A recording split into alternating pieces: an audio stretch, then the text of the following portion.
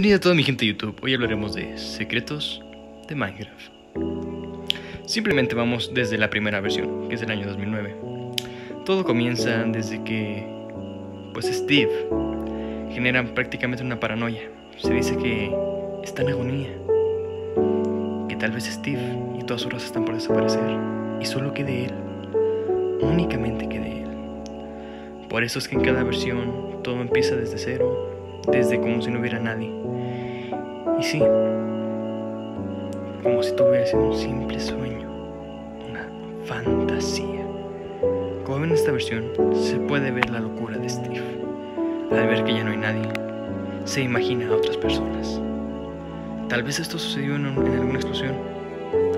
O pudo que tal vez por eso haya zombies esqueletos que aún viven en las versiones siguientes.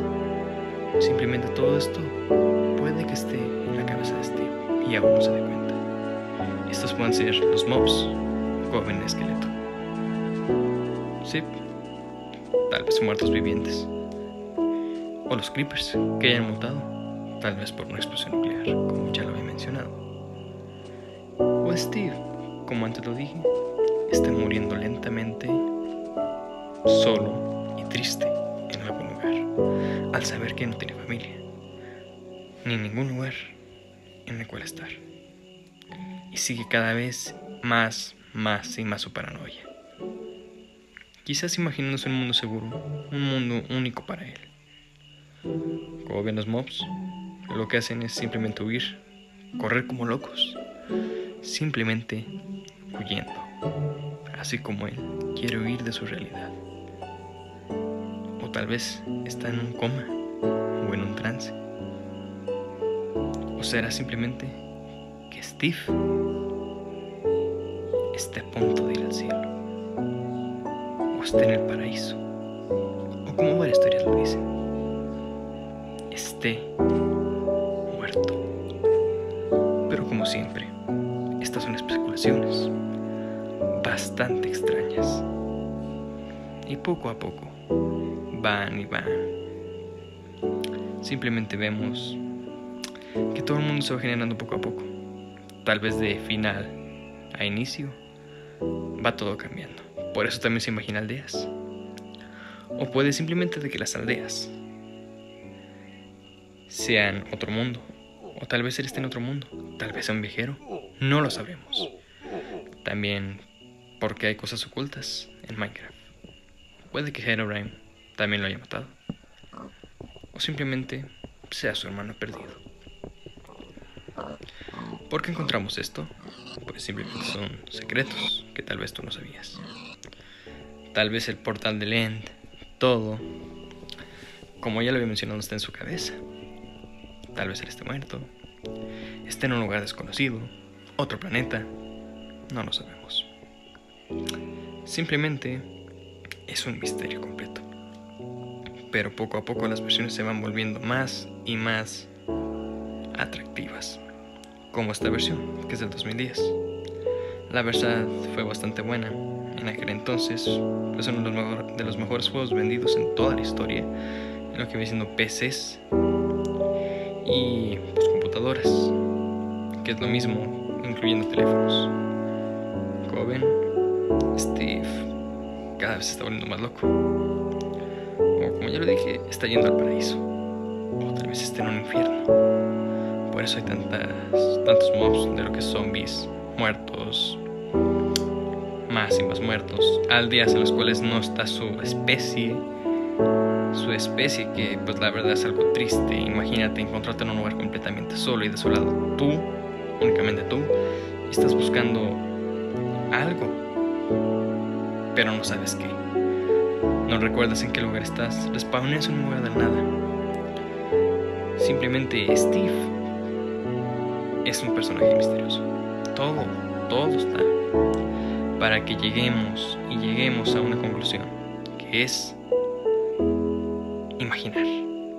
Imagina qué es lo que pasó. ¿Quién es Steve? No lo sabemos. ¿Quién es él?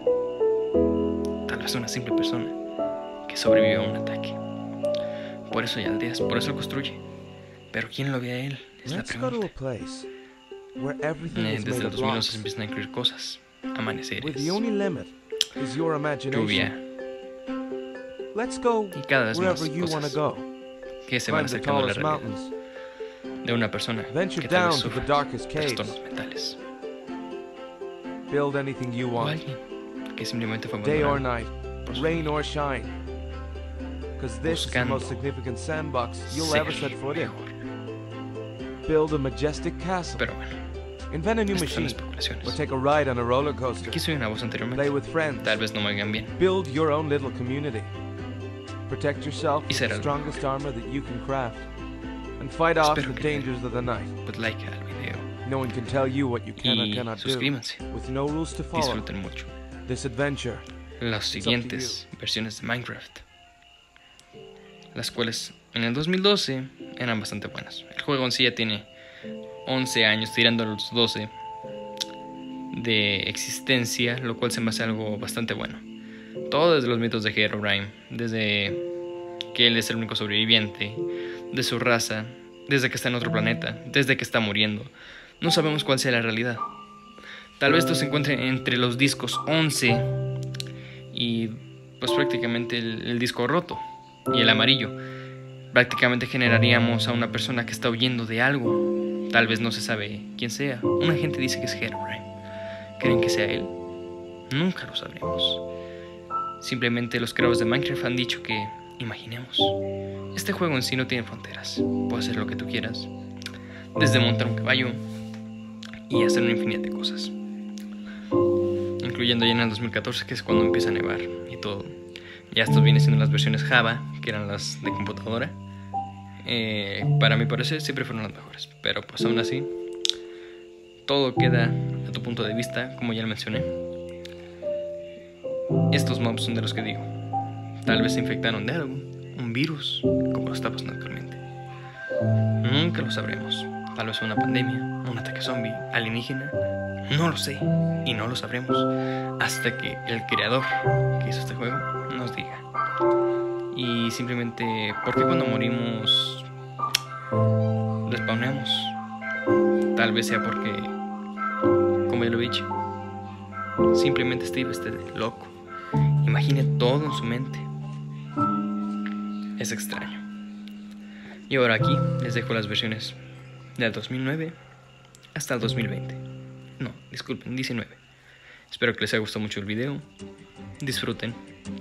Y muchas gracias. Denle like. Suscríbanse, mijos. Aquí ya saben, estamos en Catman.